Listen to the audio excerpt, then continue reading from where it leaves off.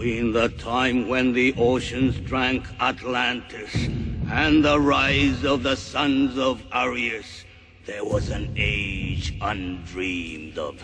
And unto this, Conan, destined to bear the jeweled crown of Aquilonia upon a troubled brow.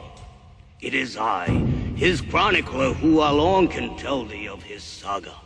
Let me tell you of the days of high adventure.